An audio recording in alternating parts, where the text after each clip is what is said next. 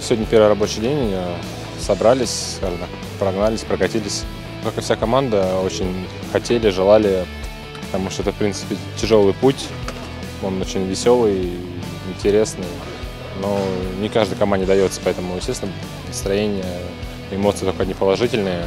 Ну, получилось удачно сплотиться и, так сказать, в единый кулак. И две серии это показалось, что мы играем друг за друга. Ну, честно сказать, э, не описать словами такого ни в одном сне у меня не было, что так, так во-первых, будет развиваться две серии, что и Казань пройти Питер с одинаковым счетом.